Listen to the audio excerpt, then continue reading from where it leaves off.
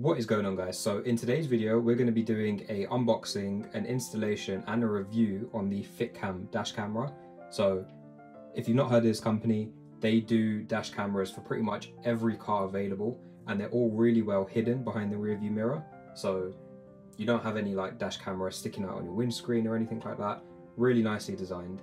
Um, but yeah, this one is for a Porsche Panamera 2019 model.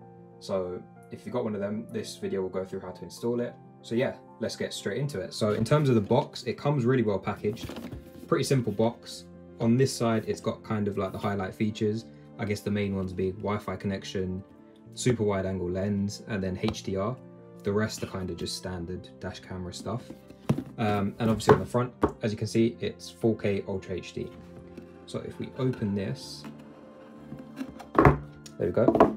We have quite well designed box. There's two things, so let's go with the dash cam first. And if we open this, so they do various models. This one is the one that has the rear camera as well. So as you can see, that's the rear view camera, which will be wired up to the boot. And then we also have the actual camera itself. So when you see this, you'll kind of understand the, the whole design side of it. So as you can see, that's literally the dash camera. And the idea is that it hides behind the rear view mirror, so it's super discreet, you can't even tell it's there. There's an SD card already inserted actually, so that is a nice surprise, 128 gig. That is a nice surprise. And then at the bottom, we have a couple buttons. So this I think is to take a snapshot and this is obviously to power it on, but we'll double check all that afterwards. Let's put that aside. I'll quickly open up the rear view camera. That's the rear view camera. What's nice is that they give these sticky pins so you can just hide the cabling along the top. I've not seen the company do that. We've got the accessories box. Some goodies in here. This is the extension cable to connect up the rear dash cam, which will come in handy. This is a trim removal tool, and what's nice about this is as you can see, it's got felt tape on the edges, so you're not going to damage any of your panels when you try and remove it, which is a nice touch. We've then got plastic trim removal tool as well. That's quite nice. And then this is the actual adapter. So this is how you connect it up to your rear view camera. So I think there's a few different models. One of them uses like the interior light to power it. This uses the rain sensor, I think. So you tap into that and then you get your own extensions out of it. And then also we have a micro SD card reader, which is another really nice touch. A lot of companies don't give you this level of like accessories.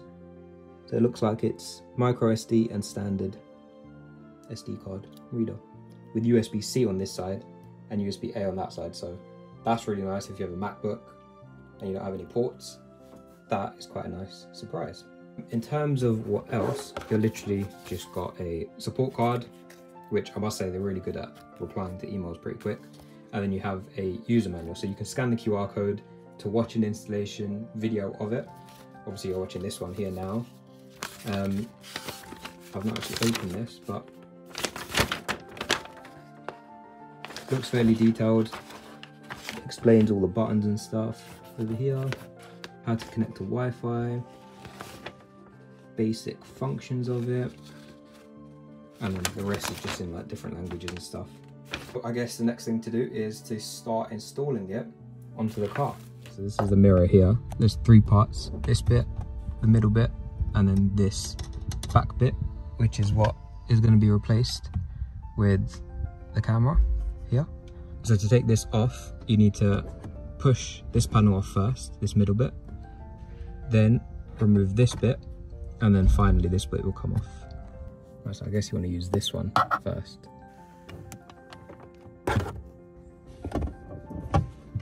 So when you put this in, you want to put it in there and push downwards.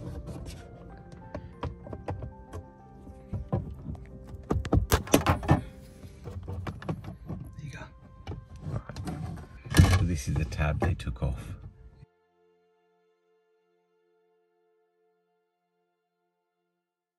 Alright, so once the main panel comes off, there's a tab here. You want to pull this out.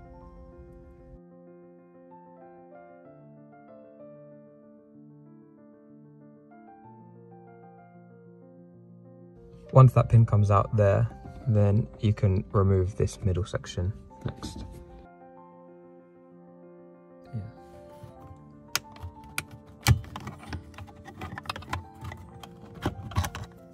Alright, so once the big panel's off, the second panel's off, what you want to do now is twist this whole section anti-clockwise and the whole mirror should start hanging off.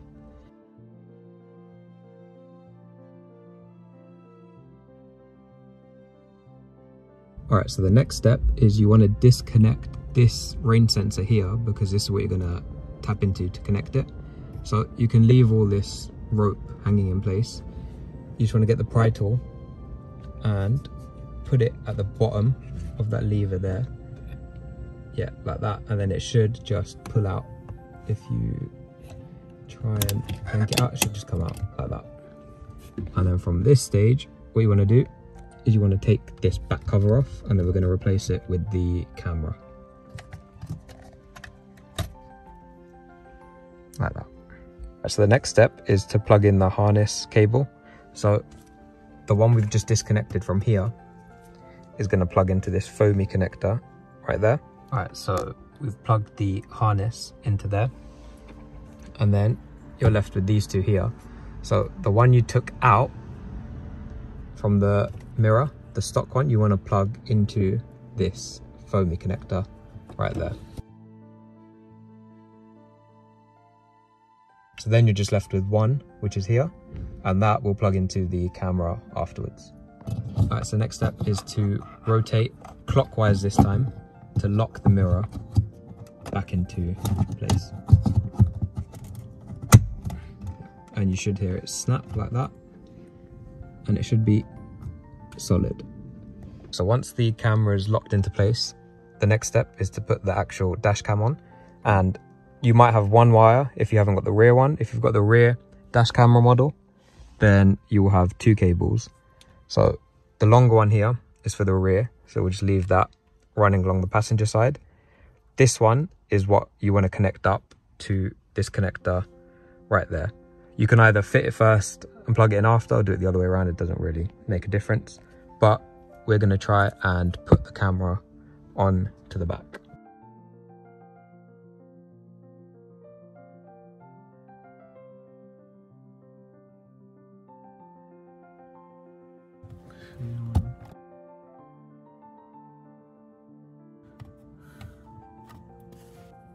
All right, so once you have this bit in, the final step here is to connect these two together. So there'll be a little notch at the top there and a notch over here. Make sure they're lined up and it should go in like that. And once that's done, just tuck it up at the top like that. And then if you've got the rear cam version, you wanna plug the extension cable into this and then run it along the back if you don't have the rear camera and you just got the front one, then you won't have this and you can start putting the panels back on the same way we took them off, but in reverse. What you want to do next is put the tab we removed earlier through there to lock it into place. So now this middle bit is secure by the two pins on either side and this. Okay, so the final step is this main piece here. Don't forget before you put this in, you want to put the pin through it.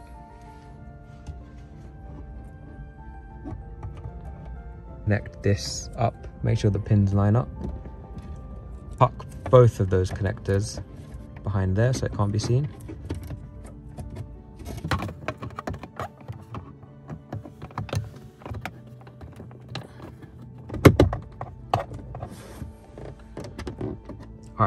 So now as you can see it's a lot better because all you've got is the wire coming out and this can easily be tucked behind the headliner that way now you don't see anything. All right, so now this is with the dash camera installed and as you can see it looks all OEM. You don't see any wires or anything hanging out. SD card goes on that side. At the bottom, you might not be able to see it just yet, but there's buttons here to power it on and stuff. And then at the very front, you can see the lens right there. So the rear camera, we're gonna put right underneath the brake light, right there. So if we go ahead and open the boot, the camera itself is gonna sit right there. So just keep it hanging from here to here. And we're gonna run it underneath. So right now, cable's coming up from here, hidden all the way along there, along this line here, and then up along the door, along there, up along there, straight to the back, and then right there.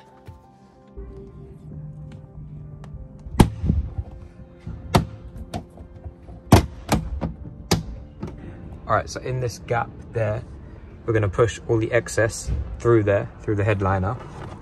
And then we'll stick the camera up and then measure how much we need. All right, so we've got the camera here. Gonna stick that in the middle over here. Okay, and then we wanna connect this into this.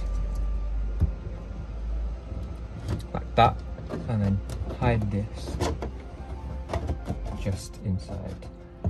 So what we've done is cable tied this up and then this is going to sit inside there. All right, so you're going to have a bit of wire hanging out here. We've put this trim back in all the way and then you've got a little bit there. And that is the rear camera complete. All right, so when the parcel shelf is up, you can't even see any of the wires. And then if we close it, from the top, you can just about see the camera there. I need to obviously twist this down so it faces out, but that's all you can see. So from the back, what you can see is just the camera and a bit of wire there. And that is the install complete. All right guys, so that was it for the install. Pretty simple. Um, on screen now, I'll put some of the footage that the dash cam has recorded. So as you can see, daytime footage is really good, really clear. Um, also, nighttime footage is also pretty good. The only downside I'd say is that the lights, so if you look at the street lamps, the light kind of gets like a hazy blur to it um, as opposed to being crisp. But other than that, it's really good. Um, yeah, hopefully you enjoyed the video. If you have any questions, drop them in the comment section below and I'll get back to you as soon as I can. Drop me a follow on Instagram. It's at RP26. And if you have any questions, send it to me there probably reply back a bit quicker. Um, but yeah, if you are interested in the product, use my discount code to get some discount off. I'll leave that in the description below as well.